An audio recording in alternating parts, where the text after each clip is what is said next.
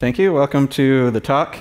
Um, as he said, I'm going to be talking about tomographic and morphometric analysis in the Gulf of Alaska.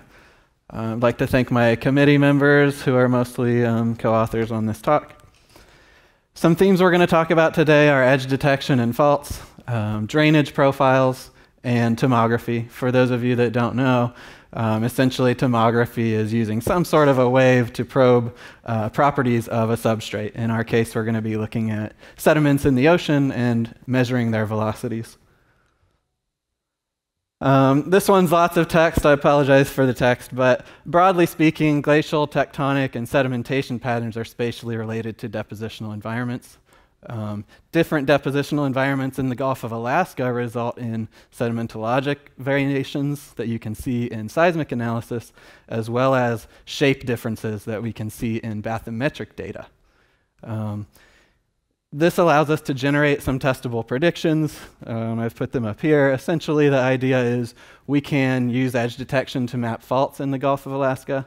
Um, with respect to ice sheets that have been in and out of the, the Gulf, we can see um, U-shaped drainage profiles within the extent of the ice sheets and V-shaped away from that. Um, sedimentation associated with rapid burial may cause low velocity zones. As we're burying sediments, the fluid pressure is responding by increasing um, according to the mass that's loaded on there. And in our study, we're attempting to quantify these spatial relationships, particularly between gully profile shape and ice sheet extents. Where are we in the world? We are in southeast Alaska. Um, the San Andreas Fault would lead down to California here. Um, we're in this area where we have the Pacific Plate subducting underneath the North America Plate um, along the Aleutian megathrust. We're going to be focusing on this area there's also a, a microplate sort of jammed into this corner here, um, and that causes some differences compared to farther south towards California or along the Aleutian Islands. So we're going to focus on this area called the Pamplona Zone here in PZ. This is actually offshore. There's an onshore corollary called the Yakataga Fold and Thrust Belt. And then on top of all of this, we have um, two major glaciers, which are remnants from larger ice sheets. I actually helped build this sandbox model in 2007 during my undergrad at Ohio State University, so that's why it's red and white. Um, and it illustrates pretty well what we expect to see in the Pamplona zone. It's a, an accumulation of sediment. So we start here um, and we increase compression on this thing, and we see a series of stacked faults um, as well as associated folds.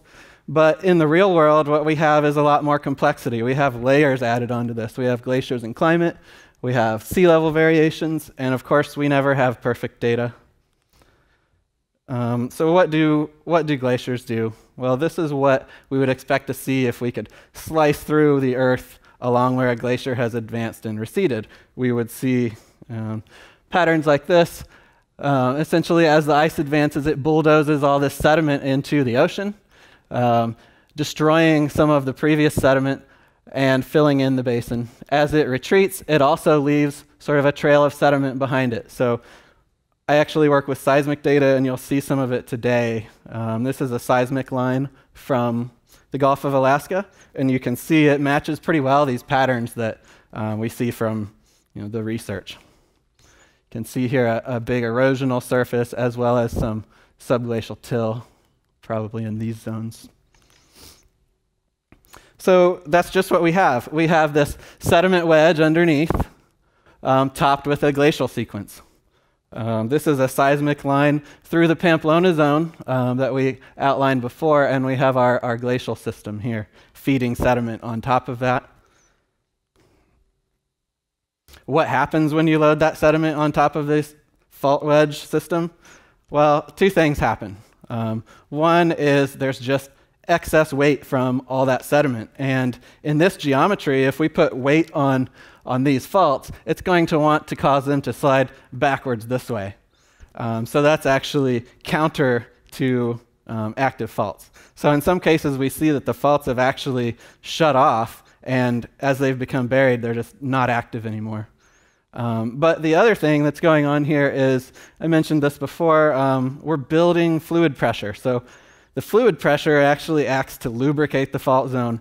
And so when you have high fluid pressures, it's easier to slide along those fault planes. So, sort of two competing processes here. So, what do faults do? Um, we're talking a lot about faults here. Well, they store strain energy, and we can release that strain energy seismically or aseismically. Um, I've put a couple examples here aseismic release of energy would be slow. You would barely detect it. And so on this um, diagram, the white dots here are low frequency events associated with just almost no seismicity sliding smoothly along these faults. Whereas if we had a rapid release of energy, such as been documented in the Gulf of Alaska numerous times, um, we could have tsunamis, other coastal hazards, um, and which case you get depends on where the faults are, which faults are active, and how the faults are behaving. Um, what we see here is again a couple seismic lines. This one's been interpreted. We could imagine that we could try to restore these faults um, back to points that should be connected. So here, this point should be connected to down here. We could restore this for all the faults and estimate how much total shortening has happened as the Pacific plate is being subducted under North America. Uh, what we see is offshore about 13 kilometers, um, explained by what we see offsets in the seismic data. But we know that since about 3 million years ago, the total system has to have experienced about 120 kilometers of total convergence. Uh, like I said, since about 3 million years ago. Um, in this image, we see um, two different ice sheet extents uh, the red lines on here are, are faults that do indeed correspond to this diagram, and we're going to look at some of these seismic lines throughout the talk. Uh, for reference, the last glacial maximum was probably about 20,000 years ago, and this one referred to as the glacial maximum is the maximum glacial extent within the last maybe 3 million years. Um, the age on that is a little bit debated. So we wanted to start out, I started out sort of exploring the data, and I was looking at the bathymetry, and I said, oh, it looks like it matches up pretty well with the faults. What can we do here? So this sort of spawned my first mini project exploring this bathymetry. The data set here that I've used is smooth sheet bathymetry by um, Zimmermann. Um, I have a lightning talk that'll talk more about the data set. But on the right here, I've compiled fault data from some of my advisors' work, from the USGS, um, as well as a couple of other sources. So the different colors are different fault sets. So I ran the edge detection on here, and I did several different um, iterations of edge detection using Model Builder. Essentially, you build a, an operator, and then you apply focal statistics. What I found to be the best result was essentially um, Sobel horizontal and Sobel vertical. I've shown these neighborhood operators here, so they go in and operate on a pixel by pixel basis and decide whether or not we see an edge. So this is kind of a blow up of the result. What we see here, black should be essentially identified as an edge, whereas um, white is not an edge. So what we're seeing is, again, pretty good agreement. Um, we're seeing some structures in here that line up pretty well with faults, particularly down here on the lower slope. Um, and then we see some faults here. There are some other structures continuing on here that I think we could use this edge detection algorithm to sort of make a better fault map. So we could rectify all these different interpretations into one, possibly centered around the results of this edge detection. In order to do this, we had to sort of make fault distance, we had to make faults, you know, more than just a line on the map. So, because we're comparing pixel to pixel. Um, what I did here to accomplish this was transform faults into fault distance. So instead of comparing just one line of the faults, I have a whole map of the region that's fault distance. Um, what we've seen here is that at short distances, the edge detection value is high, and that's what we expect if we think there's a correlation between this edge detection algorithm and our fault locations. Um, we actually did some stats here, and the R value was uh, 0.58 believe it or not, with this point cloud. Um, and it's a negative correlation when you look at the r squared, and, and that's why at short distances the value is high. This sort of led me to the other part of the project where we're going to look at profile morphology. This is pretty textbook where uh, rivers tend to create V shapes and glaciers tend to create U shapes. Um, that's how it works onshore. Offshore processes can be a little bit different. There are some uh, hypotheses proposed here by other research. I'm not going to talk about that. Another example of where we might get a different shape than just U or V is um, where you have the intersection of two lobate flows. You might accept, expect something to be sort of a square root shape. A lot of this was inspired by previous research by one of our collaborators, John Swartz at University of Texas. He did a study um, looking at the shape index of profiles, essentially whether they're U or V shaped. Um, and he took a profile across the mid slope. This is again in the Gulf of Alaska. Um, and here's his results. He extracted the gullies from this and then measured their ran through some statistics and measured the best fitting power for this. So if you have a power of 1, you're seeing a V shape, whereas if you have a power of 2 or above, you're looking at more of a U shaped profile. He also looked at longitudinal profiles. From his research, he was able to identify this zone of slope progradation, as well as areas where we're experiencing sediment bypass on the shelf and slope. This is his distribution of U and V shapes. So above this line, uh, he's seeing U-shaped profiles, whereas below it, we're looking at mostly V shapes. Our study is pretty similar, but we wanted to be a little more spatial, and we wanted to consider more variables. So we're going to look at all these comparisons, hopefully. I automated everything in Model Builder as much as I could, so this looks like a complex process, and some people are a little bit hesitant to get involved with Model Builder, but the hardest thing about this was thinking of names for the raster outputs, um, because you're limited to a certain number of characters. But basically it works by loading the data, inverting and filling the DEM, we calculate the flow direction, and then I inserted an iterator into this process so that we could try out different um, accumulation thresholds to define our stream and ridge network.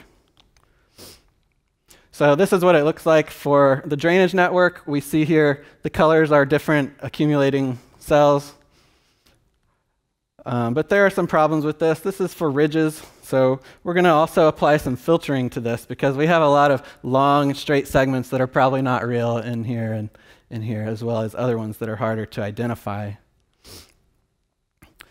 Um, I have some more details about how he did this in my lightning talk later this afternoon, but this is essentially the final result. So we applied a series of filters. Um, links mostly was the best filter that we had. Um, and then we also wanted to remove the effects of survey tracks because I noticed that near a lot of these edges I was excited about from the fault analysis actually lined up with instead survey tracks, and so they're probably not real data. Um, and this is something I'm continuing to work on resolving. But this is what we're going to move forward with. You see the what we would call gullies in blue and ridges are here in red. Now that we have our drainage network, we want to extract profiles. So again, we went to Model Builder, and what we do here is we smooth our stream network. Um, we want to take a subset of those lines and then at that point, we add fields here. So where I say add fields needed, I'm adding the endpoints to this profile. And then we use the points to line tool to generate samples along that line. Um, again, here, we're going to worry about those survey tracks, and I've removed any data within a kilometer of a survey track. And finally, we use uh, extract multi-values uh, to build our data set that we're going to work with. It looks like this. You can see a, um, a gully here and two ridges crossed by a profile where we've taken samples. This is the distribution of samples we've taken. We've done 500 profiles randomly distributed throughout the Gulf of Alaska. Sorry, all of our profiles were five kilometers long, and we trimmed this in a, another software that I have written. So I actually wrote this little script in MATLAB, and in window one, it pops up your extracted profile data. Um, your job as the user of this software is to click on the minimum, the left max, and the right max. It extracts that profile data, and then it runs some statistics on it in window number two. We'll see an example here. Um, what I'm trying to do is find the best fitting power to the power function to see whether we're looking at sort of an exponent of 1 and we're looking at a linear shape, or exponents of you know, 1.5 or higher, we're calling U-shaped. So you can see here we have our profile. Down here, um, 25 actually should be 2.5. This is saying the best fitting exponent is 2.5, so this is a pretty boxy profile, as you may expect. One more example. Um, here we have another one. We're going to zoom in on this little yellow box, and you can see that the resolution of possible shapes is pretty high here. So think of, think of these lines as possible shapes for the profile. So the green ones are, um, are between 1 and 2 for the exponent. In this case, we actually selected a green line as the best fit for this. This is the output of our results um, non-spatially compared to Swartz et al. Um, he took his in sort of an organized profile, whereas ours were randomly distributed. So this isn't the best comparison at this point. We wanted to make uh, a surface of this. So we wanted to go beyond just doing a profile and go to a surface. We used the geostatistical wizard, and it's a nice automated way to fit a variety of surfaces we had some problems with our profiles, so we didn't use all of them in our analysis. We rejected some because they had not enough relief, or they were highly asymmetric, or there were just one or two sample points left after we filtered everything out. So you can see our final selected profiles that we move forward with here.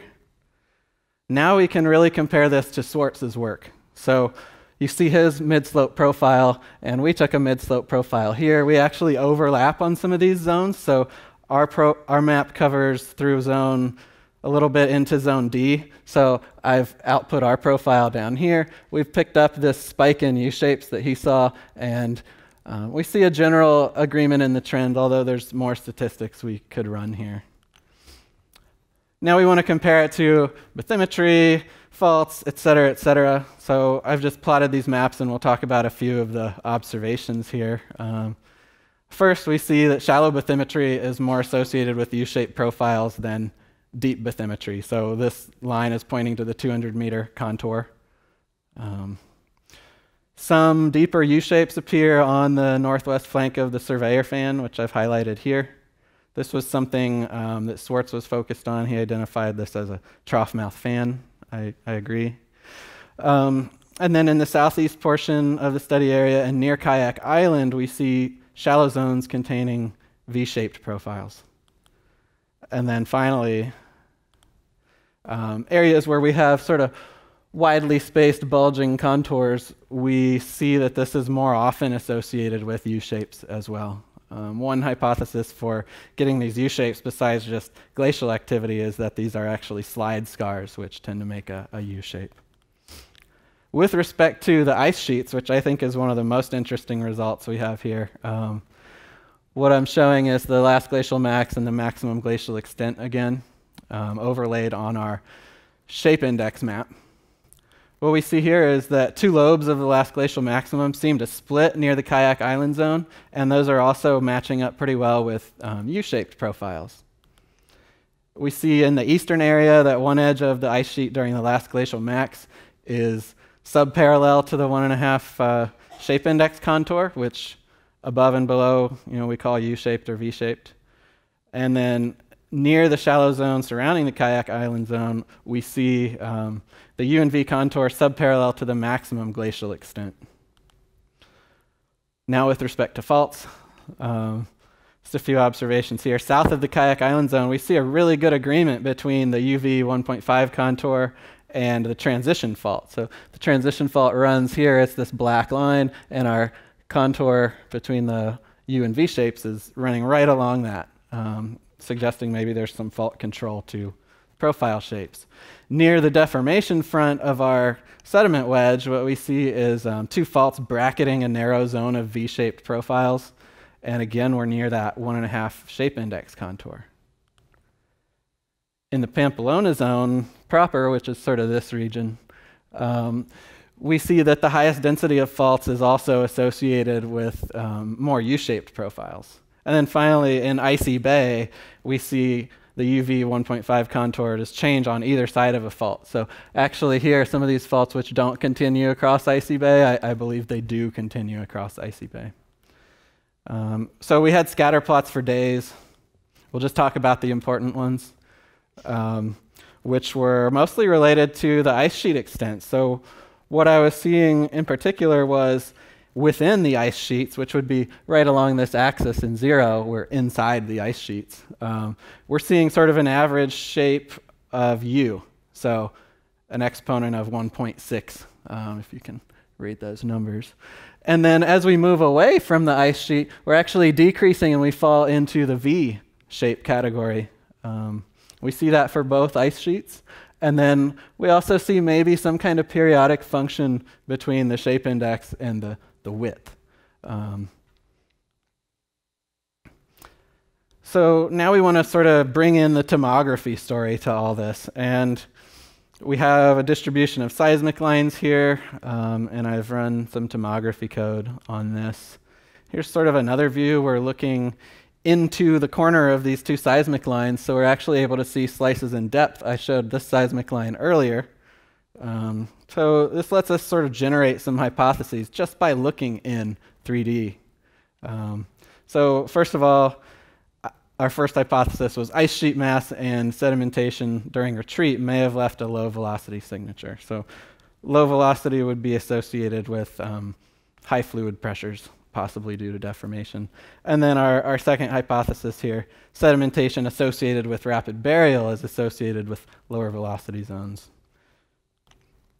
So how does this work? Um, this is sort of an interpreted seismic line here. We see an erosional surface where the glacier came through, and then we see maybe some slope deposits. And so basically, this glacier came in and bulldozed all this sediment on top of this pre existing sediment, and the loading of that may have caused overpressure. And then the second side of this is that maybe just the mass of this glacier and the sediments that it left behind as it retreated left behind an overpressure signature as well. How does the tomography work? You, you get a starting model um, of what you think it might look like, and then you take your seismic observations and you adjust the velocities in your starting model until you have a lower residual error between your um, observations and your synthetic. This is what it looks like for steep 9, which is one we're talking about. Um, from this, I could identify three possible zones of lower velocities. We look at the seismic data, which is actually recorded in time, and overlay it. In order to overlay um, our velocity model in depth in a seismic line, we have to transform our velocity model to time. So our axis, our depth axis here is actually time.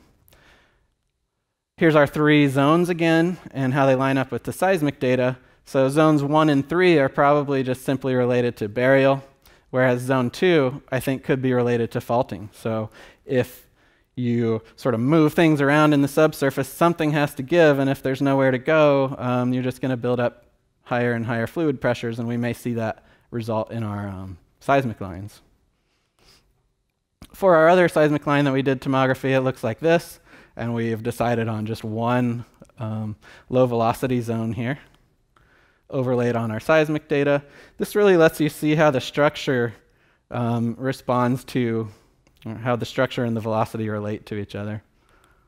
So there's our one overpressure zone again, and it's probably confined to here. We don't really have great resolution at the seafloor, so I didn't feel too bad about drawing it this way. I may change it as the research develops. Just another 3D view here. Um, again, we're in the depth axis, and now we're in the time axis, so these aren't exactly um, comparable. That's one of the challenges of seismic data is you're looking at a recording in time. But we took these um, velocity models and we used ArcGIS to extract velocity profiles as slices through here. Um, and we used buffers to guide our results here. So I just digitized in the seafloor and did a series of buffers. Um, we did this for each seismic line, and the profiles are approximately like this. You can see that we're crossing our low velocity zone in each, and it's most apparent um, at shallower depths. You can see velocities here are less than they are here, less, a little bit choppy here. And in, um, in this line, we can actually see maybe a larger signature of the loading total from the glaciers. How do we relate this back to our shape index? Well, we're going to try to use the Kolmogorov-Smirnov test, which simply tests if two samples are from the same distribution. Um, so we're going to use our UV shape index and our velocity slices to see if they could possibly be from the same distribution, to see if they're related.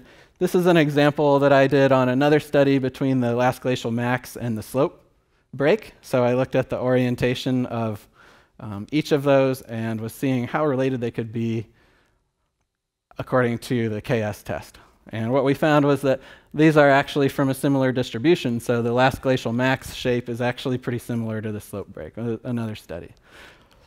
Um, so we're going to compare our velocity profiles to our shape index profiles now, and we've extracted them here. So these are profiles of our shape index. Um, again, this is increased by a factor of 10, so it should actually be like 1.7 here and 1.6.